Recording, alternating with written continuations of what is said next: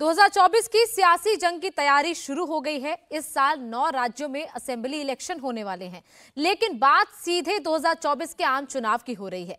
2024 में नरेंद्र मोदी खुद मैदान में होंगे। मोदी ने फाइनल प्लानिंग शुरू कर दी है। जिन राज्यों में बीजेपी के लिए मुश्किल है, वहाँ मोदी की टीम जमकर दौरा कर रही है।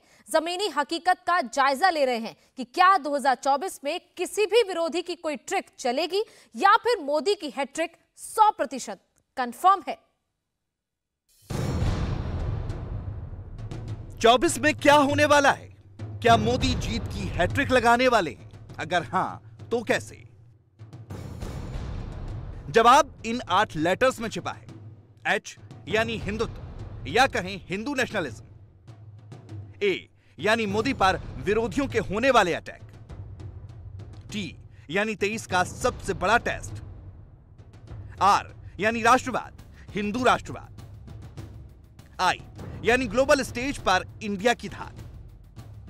सी, यानी सेंट्रल इंडिया में होने वाले चुनाव। और के, यानी दक्षिण भारत के राज्य, कर्नाटक का इम्तिहान। यह कोई ट्रिक नहीं है, लेकिन फिर भी 24 में मोदी की हैट्रिक की गारंटी दिख रही है। इसमें सबसे बड़ा फैक्टर राम मंदिर ही है। सबसे बड़ा गेम चेंजर भी 24 में भगवान राम के दर्शन अयोध्या में होंगे। 24 में 100 करोड़ हिंदुओं के लिए राम मंदिर खुल जाएगा। 24 में करोड़ों हिंदू रामलला के दर्शन कर पाएँगे। तो क्या 24 में राम के नाम पर ही चुनाव लड़ा जाएगा? 23 की जनवरी से ही 24 की जनवरी का काउंटडाउन शुरू हो गया है। शुरुआत अमित शाह ने कर दी है।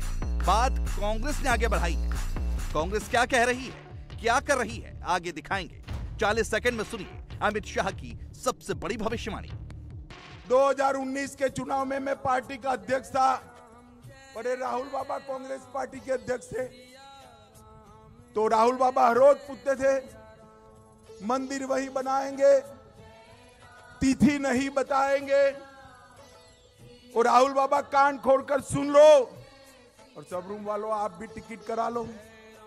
एक जनवरी 2024 को अयोध्या में गगनचुंबी राम मंदिर वहाँ पर आपको तैयार मिलेगा। देश आज़ाद हुआ तब से एक कांग्रेसी इसको कोर्ट के अंदर उलझा रहे थे। मोदी जी आए, एक दिन सुबह सुप्रीम कोर्ट का फैसला आया और मोदी जी ने उसी दिन रामलला के मंदिर का भूमि पूजन पूरा कर कर मंदिर का निर्माण चालू कर दिया। भव्य राम मंदिर का 60 परसेंट काम पूरा हो चुका है। एक जनवरी 2024 से पहले बाकी बचा 40 परसेंट काम भी पूरा हो जाएगा। बीजेपी ने अभी से हिंट देना शुरू कर दिया है। तेईस के पहले हफ़्ते में ही साल के तीन सौ पैंसठ दिन और 24 का सिग्नल दे दिया है। देखिए राहुल गांधी जी का क्या होता है कि उनको अचानक पुरानी चीज़ें याद आ जाती है। तो जो प्रश्न उन्होंने 10 साल पहले पूछना था वो आज पूछ रहे हैं उनको शायद पता ही नहीं है कि मंदिर का काम इतने जोरों से चल रहा है। तो ज़रूर जिस समय मंदिर बन जाएगा तो उनको भी दर्शन के लिए बुलाएँगे। ये कांग्रेसियों को राहुल बाबा को तारीख समझ में आ जाना चाहिए। राहुल बाबा के गुरु दिग्विजय सिंह को।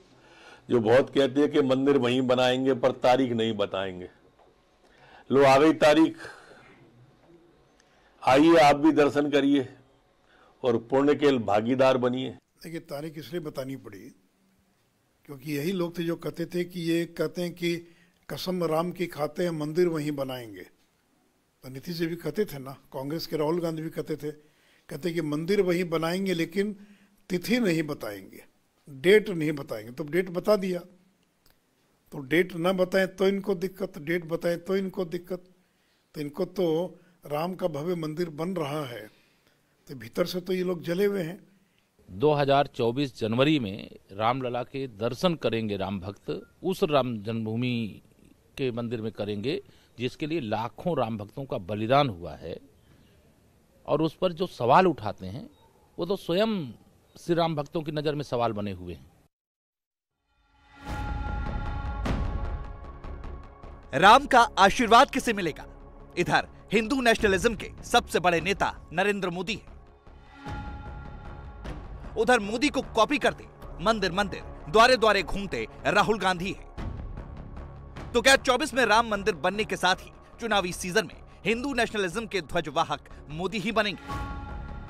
और क्या राहुल पीछे पीछे ही चलेंगे। बीजेपी ने राम मंदिर के बनने की तारीख बता दी कांग्रेस के खेमे में तारीख के ऐलान के साथ ही हड़कंप मचा दी है। तभी तो जो राहुल भारत जोड़ो यात्रा में राम नाम जप रहे हैं, जय सिया राम, जय सिया राम कह रहे हैं। उन्हीं राहुल की पार्टी के अध्यक्ष मुँह में राम, बगल में छुरी वाला स्लोगन कर रहे हैं। भगवान के नाम के आगे झूठों का सरदार लिखकर मोदी पर अटैक कर रहे हैं। अमित शाह को ताना मार रहे हैं। सब कैमरे पर रिकॉर्डेड है। शाह चाहते हैं, वो कहते हैं, भाई, राम मंदिर बन रहा है, एक तारीख उसका उद्घाटन है। अरे ठीक है, सभी लोग तो भगवान में आस्था रखते हैं, लेकिन आप क्यों घोषणा करते इसकी?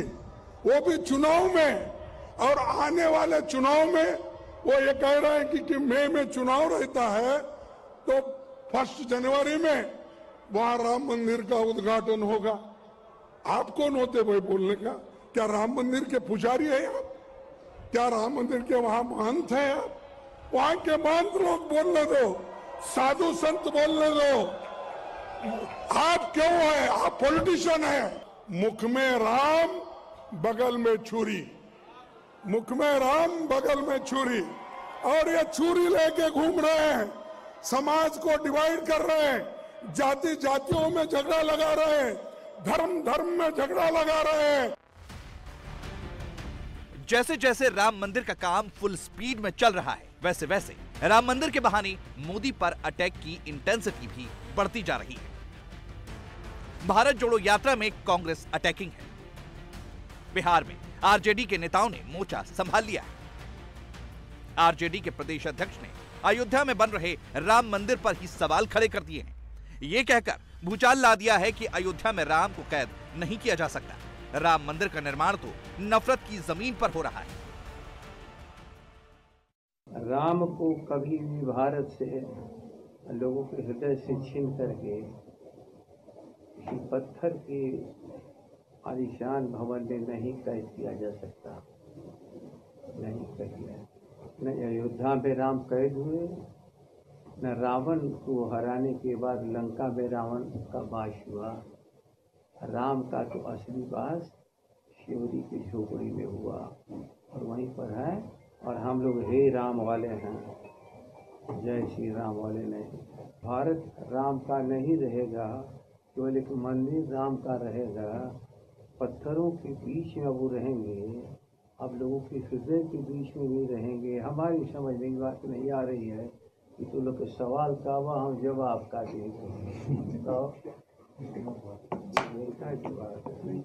अपनी बात पे कायम है जो आपने कहा। मैं कुछ भी नया नहीं कहा हूँ जो पहले से लोग कहते रहे उसी को मैं दोहरा दिया। लेकिन आपने कहा ना कि नफरत की ज़मीन पर ये मंदिर बन रहा है। ये लोग कहते हैं लोग कहते रहे हैं केवल मैं उसको दोहरा दिया हूँ लेकिन राम के महत्ता को हमने नहीं घटाया। आपने ये भी कहा कि जो राम हैं वो पत्थरों में कैद होकर रह गए हैं और अब जो राम के चाहने वाले हैं वो वो नहीं है जो कि पहले हुआ करते अब राम की हर लोगों की अपनी अपनी परिभाषा है। बीजेपी ये कह रही है कि पहले ये पूछा जाता था कि मंदिर कब बनेगा तारीख बताएँ और जब आप तारीख बता दी गई तब इस तरह की बातें कही जा रही है। अब पूछने वाले और जवाब देने वाले दोनों जानते होंगे हम कहाँ रोकने जा रहे हैं? हमने तो कहा कि राम व्यापक हैं। आपने कुछ भी ऐसा गलत नहीं कहा है आप अपनी बात पे कायम है। लोग कहते रहे मैं दोहराया हूँ कल भी मौका मिलेगा तो इसी को मैं दोहराऊँगा। साधु संतों को ये बात अच्छी नहीं लग रही? मैं उनका ठिका ले रखा हूँ क्या? भव्य राम मंदिर पर आरजेडी के नेता के दिए विवादित बयान पर अब दिल्ली से लेकर बिहार तक। यूपी से लेकर देश के अलग अलग हिस्सों तक बवाल मच गया है। बीजेपी ने इसे बड़ा मुद्दा बना दिया है। लेकिन जगदानंद सिंह को अभी भी रत्ती भर का पछतावा नहीं है। जगता बाबू लालू यादव, तेजस्वी यादव ये लोग हैं जिनको कि एक वर्ग विशेष का वोट चाहिए। ये तुष्टिकरण की राजनीति करके और हिंदू समाज को बांट कर ये राजनीति करने वाले लोग हैं। तो बहुत ही आपत्तिजनक बयान और ये समाज में नफरत, विद्वेष पैदा करने वाला बयान है।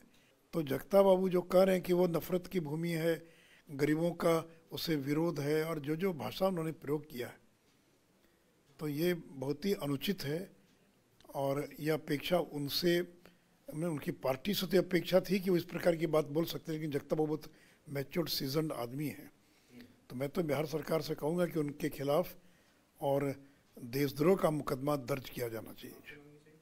माफ़ी तो मांगनी चाहिए उनको, क्योंकि लेकिन वो माफ़ी मांगने वाले लोग नहीं है ना। उन्होंने कहा कि उन पर तो देशद्रोह का मुकदमा दर्ज होना चाहिए तो मस्जिद बनवाने वाले लोग हैं। ने ये भी कहा है कि हम हे राम वाले हैं जय श्री राम वाले नहीं हैं। हे राम और जय श्री राम में क्या फ़र्क है? ये राहुल गांधी सिया राम जय श्री राम हे राम। यानी बोलने का तरीका अलग हो सकता है लेकिन हे राम और जय श्री राम में क्या अंतर है? सब तो राम की आराधना है ना? और कोई बीजेपी ने तो कभी हे राम का विरोध नहीं किया? ये क्या कहना चाहते हैं? क्या कहना चाह रहे मैं समझ रहा हूँ। लेकिन वही बताए ना कि हे राम, जय श्री राम और सिया राम। लेकिन इसमें भी विभेद, राहुल गांधी कह रहे हैं कि ये सिया राम नहीं कहते हैं, ये सीता का विरोध करते हैं। बताइए ना, जिन लोगों को धर्म में कोई आस्था नहीं है, जो धर्म के बारे में कुछ नहीं जानते हैं, लेकिन आवश्यकता पड़ती तो जनेऊ पहन कर पहुँच जाते हैं। सवाल यह भी है कि 24 के लिए क्या नरेंद्र मोदी सिर्फ़ राम भरोसे हैं या काम भरोसे भी हैं? जवाब ये कि 23 और 24 के लिए अगले 16 महीने में मोदी के पास 16 रामबाण है। 23 के जनवरी महीने में किसी से भी पूछ लीजिए तो एक ही जवाब आता है, कोई नहीं है टक्कर में, कहाँ पड़े हो चक्कर में। इस वक्त सिर्फ़ हिंदुस्तान में ही नहीं, पूरी दुनिया में मोदी टॉप पर हैं। 7 जनवरी 2023 की मोदी की रेटिंग आ गई है 77 परसेंट के साथ मोदी फ़र्स्ट पोजीशन पर है। सारे सर्वे, सारे पोल्स यही हिंट दे रहे हैं कि अगर इस वक्त चुनाव हो जाए तो मोदी ही हैट्रिक लगाएँगे। एक सर्वे में बावन प्रतिशत लोगों का मानना है कि मोदी पक्के तौर पर फिर से प्रधानमंत्री बनेंगे। करीब अट्ठावन परसेंट लोगों को लगता है कि हिंदुओं के राजनीतिक और सामाजिक रूप से एकजुट होने में मोदी की बड़ी भूमिका रही है। तो क्या 24 में मोदी सारे रिकॉर्ड तोड़ेंगे? क्या 350 प्लस का आंकड़ा पार करेंगे? 24 वाले मिशन का पहला बड़ा प्रयोग 23 में होगा। राहुल, भारत जोड़ रहे हैं, लेकिन मोदी विश्व जोड़ने के मिशन पर हटे हैं। जी ट्वेंटी से मोदी पूरी दुनिया को इंडिया की बिग पिक्चर दिखाएँगे। इस इवेंट को नेशनल प्राइड से जोड़कर भारत की ग्लोबल लीडर, यानी विश्व गुरु वाली छवि पेश करेंगे। मोदी खुद फ्रंट से लीड करेंगे। अमेरिका, चीन, रूस, फ्रांस, जर्मनी और ब्रिटेन जैसे देशों के राष्ट्र अध्यक्षों के मेजबान बनेंगे। मोदी इंटरनेशनल ऑडियंस को तो एंगेज करेंगे ही 24 के लिए डोमेस्टिक ऑडियंस के दिल और दिमाग पर भी अपनी छाप छोड़ेंगे मोदी इस वक्त पूरी दुनिया में सबसे ज़्यादा पसंद किए जाने वाले वर्ल्ड लीडर हैं और इंडिया में भी उसका असर दिखता है Minister uh, decided that we would have uh, our 200 meetings across the country. He said it is not necessary to confine to Delhi. इसे प्रत्येक राज्य की अपनी विभिन्नता अपनी विरासत सुंदरता संस्कृति आभा आतिथ्य है और उनको हमें शोकेस करना चाहिए you see that prime minister Modi is probably one of the most sought after leaders in the world for any global decision making that you have whether it's in climate change uh, whether it is in issues that are political in nature or economic in nature he's always called in he's been called into all of the recent g7 summits 24 के लिए मोदी इसी momentum को बरकरार रखना चाहते हैं और भारत को मिली जी ट्वेंटी की अध्यक्षता। इसमें बहुत बड़ा गेम चेंजर साबित हो सकती है। मोदी जी ने आठ साल के अंदर दुनिया भर में देश को सम्मान दिलाने का काम किया है। आज दुनिया भर में मोदी जी किसी भी देश में जाते हैं तो मोदी मोदी के नारे लगते हैं। एक कांग्रेस वालों को पेट में दर्द होता है। अरे कांग्रेस वालों, जरा अकल इस्तेमाल करो, भगवान ने दी है तो। ये मोदी मोदी के जो नारे हैं ना, वो नरेंद्र मोदी के लिए नहीं लग रहे हैं। इंडिया टीवी, हर वक्त, हर जगह। डाउनलोड करने के लिए सर्च करें India TV news, Google Play Store या एप स्टोर पर।